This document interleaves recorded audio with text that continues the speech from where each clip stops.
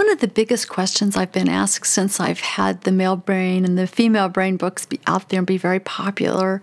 um, is often um, parents of teenagers who are desperate for some help. I try to help them understand what's going on in their brain with the big tsunami of hormones that's running the circuitry that's in that brain either for you know the, the, male brain kind of all of a sudden having all kinds of images of girls body parts and their sexuality is popping out everywhere.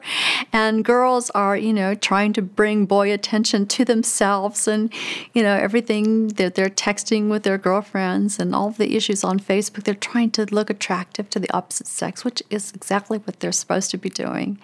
And how to help parents like know that that's very natural even though the, the kids look like they're adults talk like they're adults to understand that the the frontal lobe part of the brain that makes good decisions and can weigh um, what the future consequences of some action is going to be, the teen brain is not finished yet, and that they're going to have to be putting on parental brakes. Their job is to set boundaries and set standards, and they're going to have to just do that in whatever way